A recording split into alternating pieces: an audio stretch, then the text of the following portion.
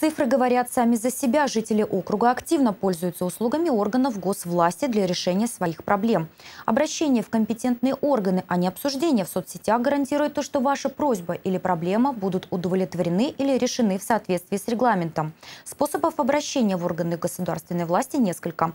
Прийти со своей проблемой можно, например, в многофункциональный центр. Сегодня на территории Ненецкого округа действует 20 центров, работающих по принципу одного окна – два офиса «Мои документы» в Наринмаре, поселке Искателей и 18 отделений в каждом муниципалитете региона. Как они работают и какие услуги можно там получить, смотрите в репортаже Валентины Чибичек. В жизни каждого человека бывают моменты, когда им необходимо получить какой-либо документ, а он не знает, где это сделать. С декабря 2013 года в Наринмаре работает многофункциональный центр, где вам всегда помогут сориентироваться. Сегодня я пришла в МФЦ обменять паспорт.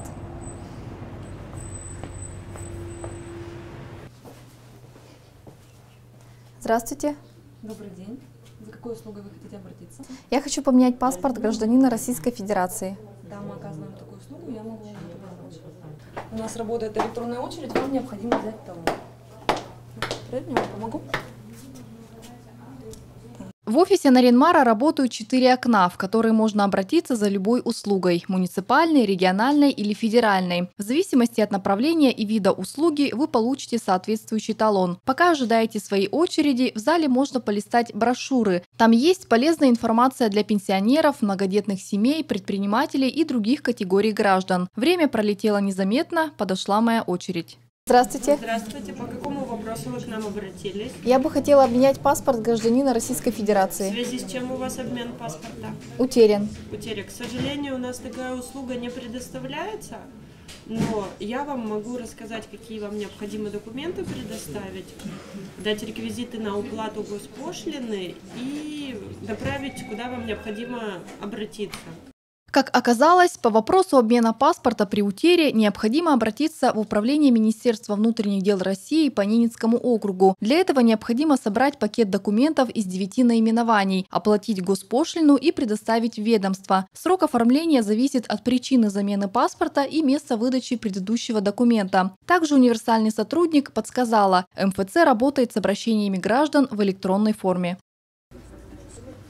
Подать документы на обмен паспорта вы можете также не выходя из дома. Для этого необходимо зарегистрироваться на портале государственных услуг. Если у вас дома нет доступа к интернету, вы можете прийти в многофункциональный центр и обратиться к сотрудникам или сделать это самостоятельно на вот этом компьютере. Для зарегистрированного пользователя в единой системе идентификации и аутентификации открываются большие возможности. В личном кабинете можно проследить статус запрошенной услуги и оценить ее качество, подать документы на оформление загранпаспорта, зарегистрировать автомобиль, оплатить штраф ГИБДД. Сервис очень удобен для жителей села, у которых не всегда есть возможность выехать в город. По статистике МФЦ доля обращений сельских жителей за услугами растет с каждым годом. Услуги на селе предоставляются те же самые, что и в городе Нарьян-Маре. Э, например, это э, услуги отделения социальной защиты населения, услуги пенсионного фонда, услуги Росреестра, услуги налоговой инспекции. Также люди имеют возможность зарегистрироваться как индивидуальный предприниматель. Самые востребованные услуги как у горожан, так и жителей сельской местности в сфере социальной защиты населения, государственная регистрация прав на недвижимость, предоставление сведений из государственного кадастра недвижимости. Оценить качество полученных услуг вы можете в журнале обратной связи. Сегодня там значатся только положительные отзывы. Новый паспорт я не получила, но сотрудники многофункционального центра дали подробную инструкцию, куда необходимо обратиться, какой пакет документов собрать и даже предоставили реквизиты, по которым необходимо оплатить государственную пошлину. Так что бесполезного совета отсюда вы точно не уйдете.